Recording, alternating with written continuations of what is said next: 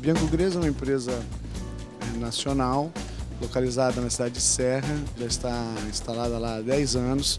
Nossos fornos produzem hoje em torno de 1 milhão e 800 mil metros quadrados.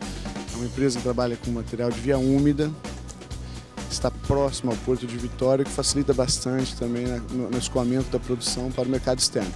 Já temos é, trabalhado com as Américas, Europa e o CENIR.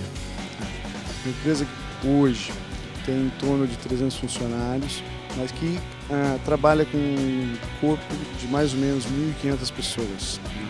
Atua em todo o mercado nacional.